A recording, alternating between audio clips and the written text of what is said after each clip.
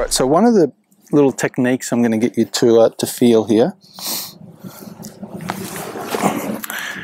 when we're hitting these shots. I'm going to put a grip, putting a grip behind the club. I can even do it this way. And what I want you to practice is raising the club up. Now the way that we're going to do that is by using your right hand a little bit more. So we're just going to use the right hand to bring the club up. So it's going to feel like you're doing this here. Don't worry if you don't hit the ball solid straight away, but I definitely want you to feel like you get the club up above. So up above. Yeah, this way.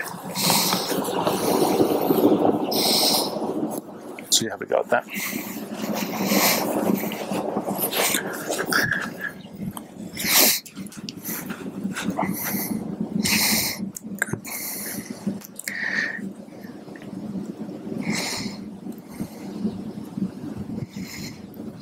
Very good. It's okay.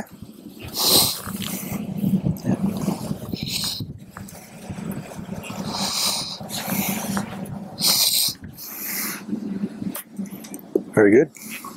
So the ultimate goal is to go up above and also miss it on the way down. So you did that the second time. Very good. Yeah. so you just asked me before about right hand, left hand. You definitely need to feel more right hand on the way back. Yeah. You need to get the club to come up faster Yeah. uh, on chip shots.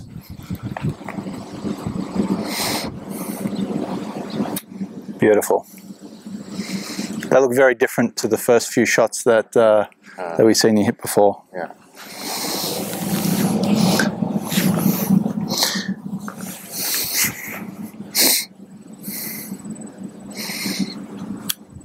Very nice. Chipping like a pro. Ah. So, to, to explain, when we did full swing earlier today, I mentioned uh, attack angle. And all that means, I'll just re explain, is when you're coming into the ball, it's how much down you're hitting on the ball. That creates a negative attack angle. I mentioned when you were hitting an iron, we want that to be negative three, negative fours, and yours was zero yeah. when you're hitting these chip shots at the beginning, your attack angle is probably zero, hmm. and, it's, and you're topping the ball a lot. When we use our wrists, what we're doing is we're moving the attack angle like this. So we're hitting down into the back of the ball. Have you ever seen or played uh, pool or snooker? Now, sometimes when they're playing, you know, the ball gets stuck behind another ball like this, and they come in there and they hit down into the back of the and it pops over. That's what I'm getting you to do in a golf sense. So you're popping down like this, and the ball pops over. Yeah. So you're able to hit more solid chip shots.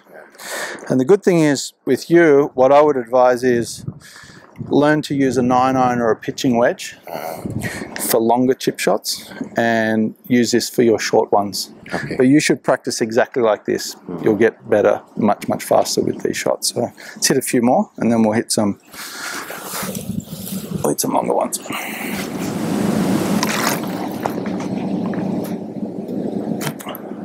Like a boss. Magic. Magic.